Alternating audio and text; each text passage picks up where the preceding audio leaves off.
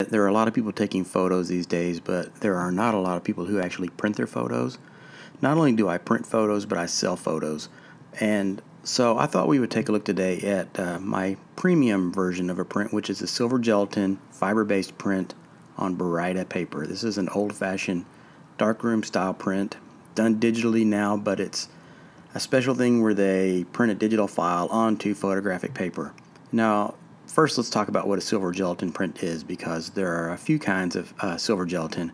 One is the RC print, which is uh, in the old days, the old darkroom days, was your more affordable kind of paper, your sort of work-a-day black and white photo paper.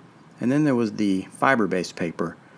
And this is what I'm talking about. It's a higher end paper. And of course, in those days, there were a lot of varieties of kinds of fiber based paper. There was glossy, there was matte, um, there was the Baryta, and what we're looking at here is the Baryta surface paper.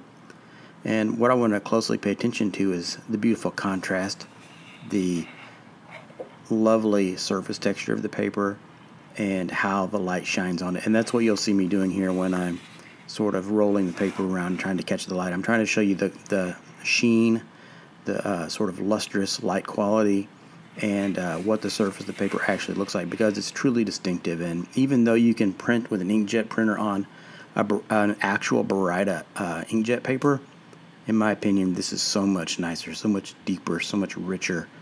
Uh, this is the real deal, and um, that's why I call these museum quality prints because I have them printed in New England, a place that does actual black and white prints for museums, and uh, it's not cheap.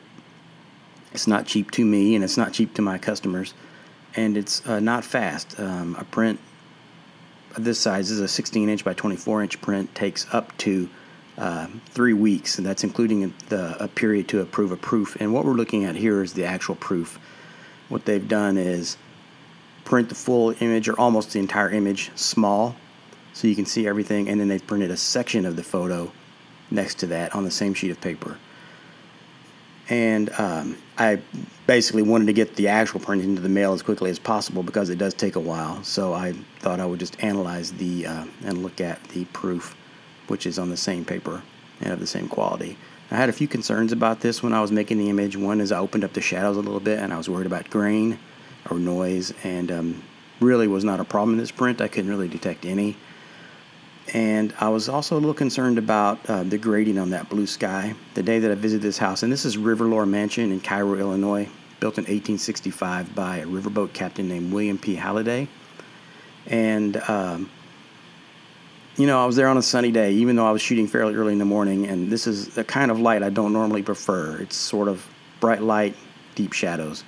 Um, so I was kind of concerned about opening those shadows up too much. There wasn't a whole lot of noise in the shadows, and I was concerned about that blue sky, which in this photo looks like a gradient, darker to lighter.